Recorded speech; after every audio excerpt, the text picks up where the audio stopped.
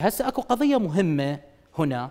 ليش عملية عزل ترامب في مجلس الشيوخ هي شبه مستحيلة وصعبة للغاية؟ ومن المرجح جدا إنه ما ينعزل ترامب على الرغم من كل هذه الهوسة اللي صايرة اليوم. إذا ألقينا نظرة الآن على طبيعة مجلس الشيوخ وطبيعة الأنظمة اللي محطوطة لهذا الأمر تحديدا اللي هو العزل راح نكتشف إنه الموضوع صعب جدا فعليا. هسه هذه القضية في مجلس الشيوخ أكو طبعا 50 من الأعضاء اللي موجودين في مجلس الشيوخ من الجمهوريين وأكو 50 من الديمقراطيين. حتى ينعزل ترامب لازم ثلثين مجلس الشيوخ يصوتون آه، على عزل ترامب حتى يتم العزل. يعني باختصار إنه لازم 67 صوت يتصوت ضد ترامب.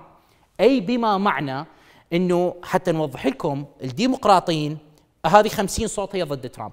زائدا واحد هي 50 زائدا واحد. الصوت الواحد هذا اللي دا أذكره لكم اللي هو صوت كمالا هاريس. كمالا هاريس اللي هي النائبة الجديدة لرئيس الولايات المتحدة الأمريكية المنتخب جو بايدن. هذه تقدر أيضا تصوت. لذلك 51 صوت ضد ترامب.